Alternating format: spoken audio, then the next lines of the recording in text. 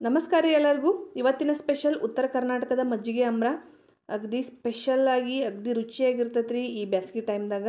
ಬರ್ರಿ ಹಂಗಂದ್ರೆ ತಡ ಮಾಡೋದು ಬೇಡ, ಹೆಂಗೆ ಮಾಡೋದು ಈ ಮಜ್ಜಿಗೆ ಅಂಬ್ರ ಅಂತ ನೋಡೋಣ ಮೊದಲಿಗೆ ಒಂದು ಕುಟ್ಟೋಕಲ್ಲಿಗೆ ಒಂದು ಚಮಚದಷ್ಟು ಜೀರಿಗೆ ಸೇರಿಸ್ಕೊಳತ್ತೈತ್ರಿ. ಅದಾದಮೇಲೆ ಒಂದು ಹತ್ತು ಎಸಳು ಬೆಳ್ಳುಳ್ಳಿ ಸೇರಿಸ್ಕೊಳತ್ತೈತಿ ಅರ್ಧ ಇಂಚಷ್ಟು ಶುಂಠಿ ಸೇರಿಸ್ಕೋಬೇಕ್ರಿ.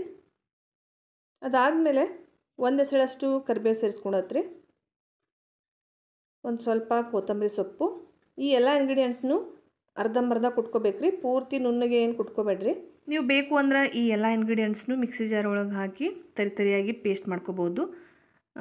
ಕಲ್ಲೊಳಗೆ ಕುಟ್ಕೊಂಡ್ರೆ ಅಗದಿ ಟೇಸ್ಟ್ ಬರ್ತೈತೆ ಅಂತ ಹೇಳ್ಬೋದು ರೀ ಸೊ ಹಾಗಾಗಿ ಕಲ್ಲೊಳಗೆ ಕುಟ್ಕೊಳತ್ತೈತಿ. ನೋಡ್ರಿಗ ತರಿ ತರಿಯಾಗಿ ಕುಟ್ಟೋ ಕಲ್ಲೊಳಗೆ ಕುಟ್ಕೊಂಡತ್ತಿ. ಪೂರ್ತಿ ಪೇಸ್ಟ್ ಆದ್ರೆ ಅಷ್ಟು ರುಚಿ ಆಗಂಗಿಲ್ಲ ಸೊ ಹಾಗಾಗಿ ಇಷ್ಟ ಆದ್ರೆ ಸಾಕು ನೋಡ್ರಿ. ಹಂಗೆ ಈಗ ಮಜ್ಜಿಗೆ ಅಮರ ಮಾಡ್ಕೊಳಕ್ಕೆ ಮಜ್ಜಿಗೆ ಮಾಡ್ಕೊಳತ್ತತ್ರಿ. ಒಂದು ಕಪ್ಪಷ್ಟು ಮೊಸರು ಸೇರಿಸ್ಕೊಳತ್ತತಿ ಒಂದು ಕಪ್ ಮೊಸರಿಗೆ ನಾಲ್ಕು ಕಪ್ಪಷ್ಟು ನೀರನ್ನು ಸೇರಿಸ್ಕೊಳತ್ತತಿ ಈ ಮಜ್ಜಿಗೆ ಅಮ್ರಕ್ಕೆ ಮಜ್ಜಿಗೆ ಸ್ವಲ್ಪ ನೀರು ನೀರು ಇದ್ರನ ಟೇಸ್ಟ್ ರೀ.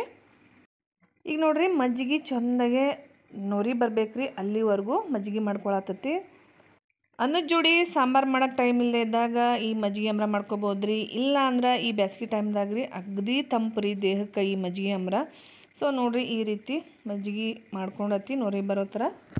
ಈಗ ಸ್ವಲ್ಪ ಹಿಟ್ಟು ಹಚ್ಚತ್ತತ್ರಿ, ಜೋಳದ ಹಿಟ್ಟು. ನೋಡ್ಕೊಂಡು ಹಾಕೋಬೇಕ್ರಿ ಜೋಳದ ಹಿಟ್ಟನ್ನು. ಭಾಳ ಜೋಳದ ಹಿಟ್ಟನ್ನು ಹಚ್ಕೋಬಾರ್ದು ರೀ ಯಾಕಂದ್ರೆ ಗಟ್ಟಿಯಾಗಿ ಬಿಡ್ತೈತೆ ಮಜ್ಜಿಗೆ ಅಮ್ರ ಮೀಡಿಯಮ್ ಆಗಿರಬೇಕು ತಿಕ್ನೆಸ್ಸು ಸೊ ಸ್ವಲ್ಪ ಜೋಳದ ಹಿಟ್ಟನ್ನು ಹಚ್ಕೊಂಡತಿ ಕುದ್ಮೇಲೆ ಗಟ್ಟಿ ಆಗ್ತೈತೆ ರೀ ಹಾಗಾಗಿ. ಸ್ವಲ್ಪನೂ ಗಂಟಿಲ್ಲದೆ ಇರೋ ಥರ ಮಜ್ಜಿಗೆ ಜೊತೆ ಜೋಳದ ಹಿಟ್ಟನ್ನು ಕಲಿಸ್ಕೊಂಡಾದ್ಮೇಲೆ ನೋಡಿರಿ, ರುಚಿಗೆ ತಕ್ಕಷ್ಟು ಉಪ್ಪನ್ನು ಸೇರಿಸ್ಕೋಬೇಕು. ಈಗ ಮೀಡಿಯಮ್ ಉರಿ ಒಳಗೆ ಚಮಚದ್ಲೆ ಒಂದು ಈಟು ಕೈ ಬಿಡ್ದ ಈ ಥರ ತಿರ್ಗಿಸ್ಕೊಂತನೇ ಇರ್ಬೇಕ್ರಿ. ಯಾಕಂದ್ರೆ ಉಕ್ಕಿ ಬಿಡ್ತೈತ್ರಿ ಮಜ್ಜಿಗೆ ಅಮ್ರ. ಈ ರೀತಿ ನಾವು ಚಮಚದ್ಲೆ ಕೈಯಾಡ್ಸ್ಲಿಕ್ಕಂದ್ರೆ ಸೊ ಹಾಗಾಗಿ ಮಜ್ಜಿಗೆ ಅಮ್ರ ಆಗೋವರೆಗೂ, ಕೊನೆವರೆಗೂ ಚಮಚದಿಂದ ಕೈಯಾಡ್ಸ್ತಾನೆ ಇರಬೇಕು. ಜೊತೆಗೆ ನಾವು ಜೋಳದ ಹಿಟ್ಟು ಹಚ್ಚಿರೋದ್ರಿಂದ ತಳ ಹಿಡಿಯೋ ಚಾನ್ಸಸ್ನು ಇರ್ತೈತ್ರಿ. ಈಗ ನೋಡ್ರಿ ಮೀಡಿಯಮ್ ಉರಿ ಒಳಗೆ ಚೆಂದಾಗೆ ಈ ಥರ ಐದು ನಿಮಿಷ ತಿರುಗಿಸುವಷ್ಟೊತ್ತಿಗೆ ಚೆಂದಾಗೆ ಕುದಿ ಬಂದತಿ. ಕುದಿ ಬಂದಮೇಲೆ ಆಲ್ರೆಡಿ ಕುಟ್ಕೊಂಡು ಇಟ್ಕೊಂಡಿರುವಂಥ ಇಂಗ್ರೀಡಿಯೆಂಟ್ಸ್ನ ಸೇರಿಸ್ಕೋಬೇಕ್ರಿ. ಕುದಿಯಾಕತ್ತಿರೋ ಮಜ್ಜಿಗೆ ಅಂಬ್ರದೊಳಗೆ. ನೋಡಿರಿ, ಮತ್ತು ಇನ್ನೊಂದು ಐದು ನಿಮಿಷ ಮೀಡಿಯಮ್ ಮೂರಿ ಒಳಗೆ ಚೆನ್ನಾಗೆ ಈ ಥರ ಕೈ ಬಿಡ್ದ ಚಮಚದಿಂದ ಇರಬೇಕು ರೀ ನೋಡಿರಿ, ಒಳ್ಳೆ ಘಮ ಬರತತಿ ಮಜ್ಜಿಗೆ ಅಂಬ್ರಕ್ಕೆ ನಾವು ಮಸಾಲೆ ಎಲ್ಲ ಸೇರಿಸಿದ್ಮೇಲೆ. ನಾವೆಲ್ಲ ಬೆಳ್ಳುಳ್ಳಿ ಜೀರಿಗೆ ಶುಂಠಿ ಎಲ್ಲ ರೀ ನೋಡ್ರಿ ಒಂದು ಐದು ನಿಮಿಷ ಮೀಡಿಯಮ್ ಉರಿ ಒಳಗೆ ಕುದಿಸ್ಕೊಂಡಾಯಿತು. ಮಜ್ಜಿಗೆಗೆ ಹಿಟ್ಟು ಹಚ್ಚುವಾಗ ಎಷ್ಟು ನೀರು ನೀರು ಅನ್ಸತ್ತೈತ್ರಿ ನೋಡಿರಿ. ಕುದ್ದ ಮೇಲೆ ಮಜ್ಜಿಗೆ ಅಮ್ರ ಎಷ್ಟು ಗಟ್ಟಿ ಅನ್ಸತ್ತತಿ. ಆರಿದ ಮೇಲೆ ಇನ್ನೂ ಗಟ್ಟಿ ಆಗ್ತೈತ್ರಿ. ಈಗ ನೋಡ್ರಿ ಒಗ್ಗರಣೆ ಕೊಡತತಿ ಒಗ್ಗರಣೆಗೆ ಒಂದು ದೊಡ್ಡ ಚಮಚದಷ್ಟು ಎಣ್ಣೆ ಸೇರಿಸ್ಕೊಳತದಿ ಇದು ಆಪ್ಷನಲ್ಲು ಬೇಕು ಅಂದರೆ ಒಗ್ಗರಣೆ ಹಾಕ್ಬೋದು, ಇಲ್ಲ ಅಂದರೆ ಇಲ್ಲ. ಎಣ್ಣೆ ಕಾದ್ಮೇಲೆ ಸ್ವಲ್ಪ ಸಾಸಿವೆ ಸೇರಿಸ್ಕೋಬೇಕ್ರಿ. ಸಾಸಿವೆ ಚಿಟಪಟ ಅಂದಮೇಲೆ ಒಂದು ಹೆಸಳು ಕರಿಬೇವು, ಒಂದು ಮೂರು ಬ್ಯಾಡ್ಗೆ ಮೆಣಸಿನ್ಕಾಯಿನ ಈ ಥರ ಮುರಿದು ಸೇರಿಸ್ಕೋಬೇಕು. ಈಗ ನೋಡಿರಿ ಗ್ಯಾಸ್ ಆಫ್ ಮಾಡಿ ಚೆಂದಾಗೆ ಈ ರೀತಿ ಮಿಕ್ಸ್ ಮಾಡ್ಕೋಬೇಕು.